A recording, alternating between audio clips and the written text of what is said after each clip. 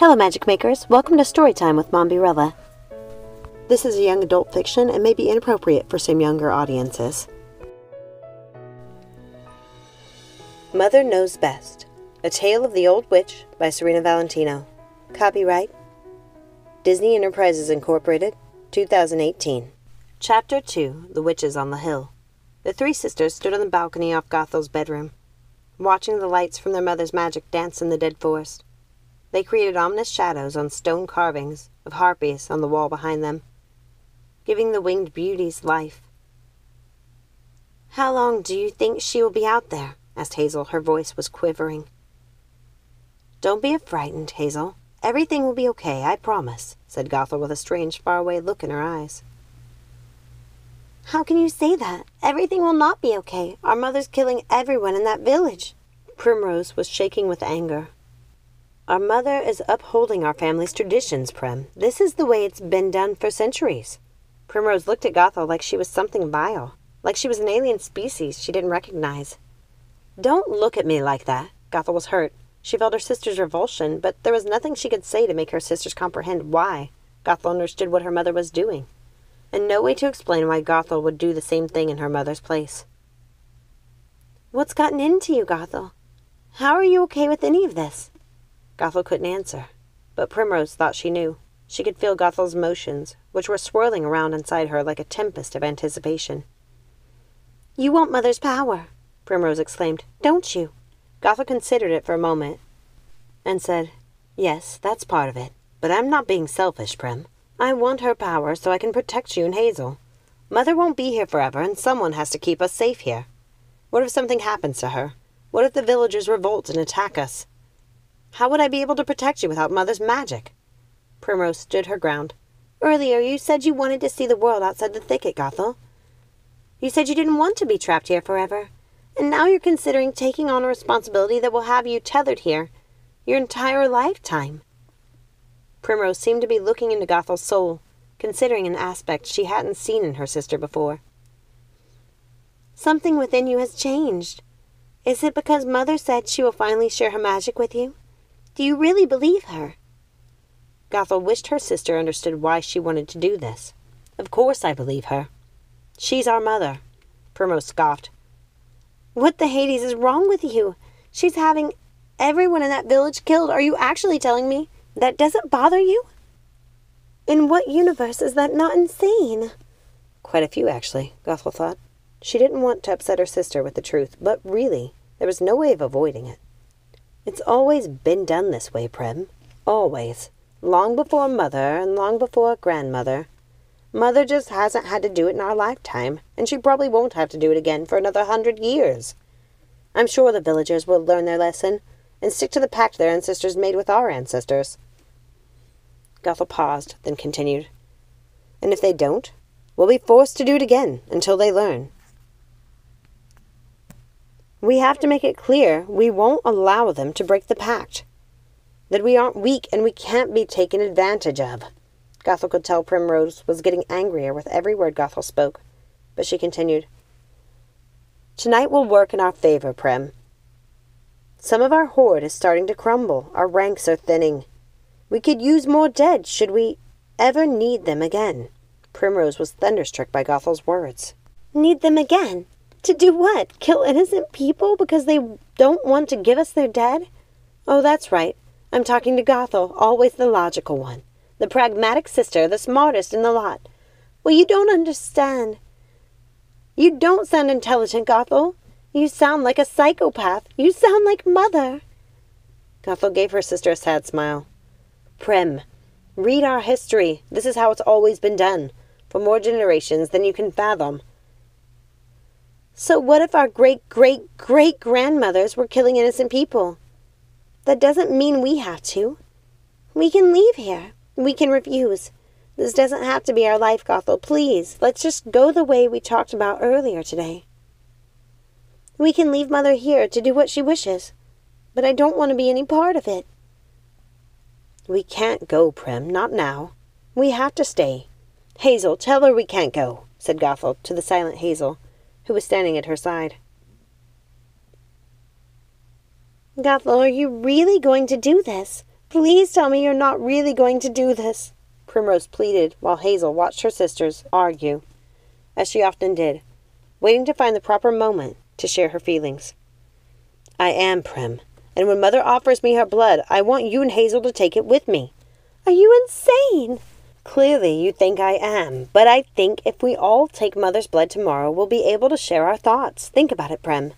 I'll always know if either of you need me. We'll be able to protect each other.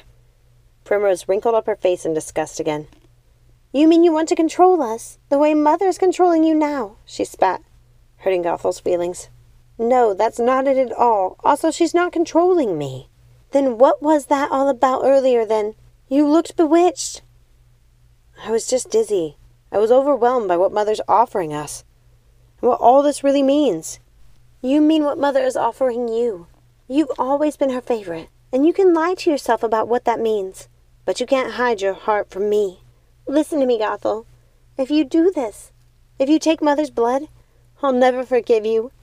I'll leave this place forever, and you will never see me again. Do you understand? Primrose was in tears, but she looked entirely serious. Prim, I love you. I love you so much, but you don't understand what you're saying. We have no idea how old Mother really is. She won't be with us forever. She can live as long as she wants. She doesn't have to die if she doesn't want to. You heard her. It would be her choice to go into the mist, said Primrose. What if something happened to her before she's ready to move on? How would I heal her without knowing her magic? Besides, you know one day she will be too tired to stay in this world. She will want to move on, just like her mother before her, and her mother before her, and like every other witch in our blood before them. It's our duty to take her place, to make sure our family's magic lives on after she passes into the mist. We have to stay here and protect our forest, uphold our traditions. You've always known this. Primrose shook her head. Not this way, Gothel. I won't be part of killing innocent people. I'll never be okay with killing children, and I will never forgive you if you do this. Gothel felt as if her heart were being ripped out. Her mother had finally agreed to share her magic with her. Her sister was forcing her to make an impossible choice. She sighed and said, You know you mean more to me than Mother's magic. Please don't make me choose. Primrose said nothing. She just stared at her sister with her tears spilling down her face. Gothel tightened her fists, squeezed them so hard her nails were piercing her palms, making them bleed. Fine, I won't do it. You know I can't lose you, Prim. I can't. If you really don't want me to do this, then I won't. We can leave here together tomorrow before the sun sets if that's really what you want. But I want you to understand what that decision means. Hazel, who'd been quietly listening to her sisters argue, finally spoke. No one is leaving. Gothel and Primrose stared at their sister in astonishment. Quiet, contemplative Hazel was taking on the role she rarely played. But it was none the less her place. She was the eldest sister, and her older sister stood there, mesmerized by how calmly and resolutely she spoke. I will share the blood with you tomorrow, Gothel. Our place is here. We are the daughters of Manea. We have a responsibility to the dead woods and to our ancestors. Primrose, you know this. You've known it your entire lifetime. I don't understand why you're acting as if you're just learning about this now. Mother's always told us the stories of times before we were born. Did you think it was all fairy tales? We live in the dead woods, Prim. The dead woods. This shouldn't be such a shock to you. We've walked among the dead our entire lifetimes. We've heard the stories of our ancestors at bedtime since we were small. If we leave this place, there will be no one left to control the dead after Mother's gone. Do you realize what that means, Prim? Listen to me. We're all going to take Mother's blood tomorrow, all of us. I'm the eldest after Mother. And my decision is final. I can't believe you're taking Gothel's side, Hazel. You both make me sick. Primrose stormed off, leaving Hazel and Gothel on the balcony. Prim, please stay. Come back. Gothel was broken-hearted. She felt she'd somehow ruined everything, and she wondered if she would ever have Primrose's love again. Don't worry, Gothel. I think she'll feel better tomorrow. She just needs time to think it over. You know how she is. Her anger burns bright, but it also dies quickly. Nee, you know she can't stay mad at either of us for very long. Gothel knew Hazel was right, but there was something inside her that told her she might have lost Primrose for good. Thank you for supporting me, Hazel. Thank you for trusting me. I knew you would understand why I'm doing this. Hazel seemed to be thinking it over before responding. Finally, she said, I think I understand. We have to do it because it's our obligation. It's our obligation and birthright. I've spent so many years upset with Mother because I thought she was selfishly keeping her magic from us. I was ready to leave this place for fear of languishing here forever with nothing to do but wander these woods. But don't you see? If she wants to share her blood with me now, that means she's getting ready to go into the mist. It means she's ready to move on and wants us to have her knowledge before she goes. Gothel, are you doing this to protect us like you said? Or are you doing it for the power? Gothel watched her sister walk out of the room before responding quietly. Oh, Hazel, what would you think of me if I said I was doing it for both reasons? Thank you so much for listening. Please remember, like, subscribe, ring that notification bell, share with a friend, comment down below. And remember, let it go and keep moving forward. Have a magical day. Bye.